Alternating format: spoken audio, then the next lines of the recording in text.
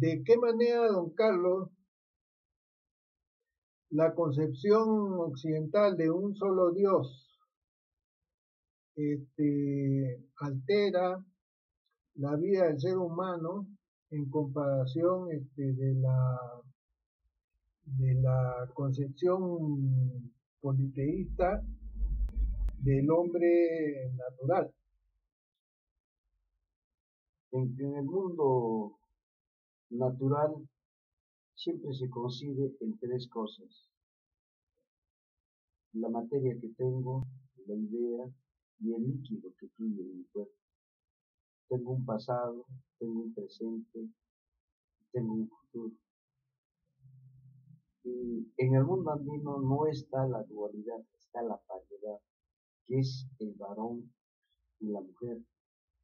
Y esto está dado todavía desde los mochitas, en donde muestran la erección del pene, las enfermedades de dicho órgano o de la mujer, inclusive el arte de hacer el acto sexual.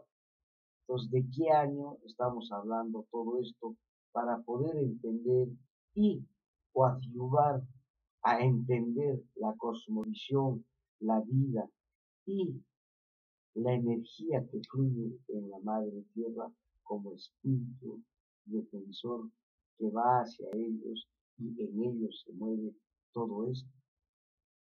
Y todo esto ha ido cambiando a una imposición del catolicismo de esa época, traído por lo que es la Biblia, el vino y la hostia.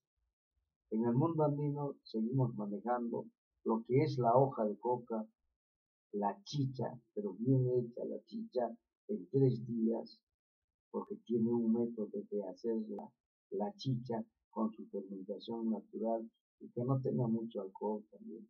Y otro, lo que es el sanku o el pan andino, que en este caso estaría entrando a lo que es el o la hostia.